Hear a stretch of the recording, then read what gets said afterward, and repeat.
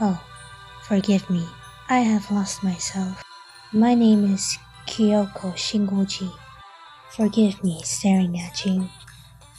By the way, would you like telling me your name?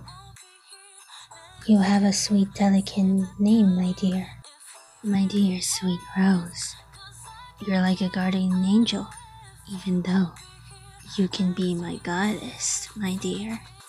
No matter what everybody thinks of you, my dear, just so you know that you're the beautiful flower that everybody has seen in their life.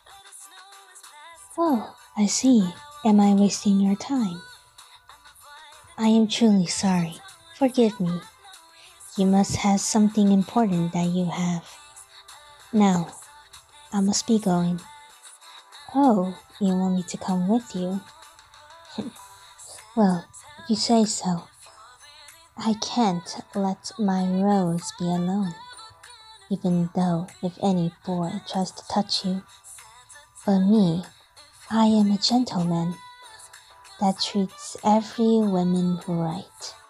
I have a sister once, but sadly, she has passed. No, no, it's okay. She will always be there by my side. If you want to talk to her, then I'll bring her here. Forgive me interrupting this conversation you're having. My name is Midora. I died of illness, even though if you might be interested. now, I'll get back on one of your conversation. Sorry if it's short. But have a good day, my dear Rose. Usually, we always share the same body all the time. Well, even though if I always snapped out, my sister always stopped me every time, even though she can always unzip my mask. Sometimes have any kinds of origin stories about me and my sister. But Let's not get that too distracting. You have some important shopping to do, don't you? Huh. I can tell that Christmas is almost about to come any second or day, even hours. now, let's not wait here that long.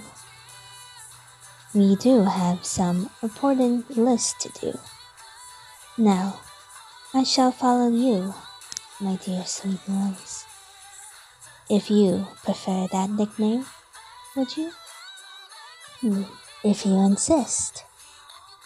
I shall help you with the bags and all those stuff. now, let's get to business.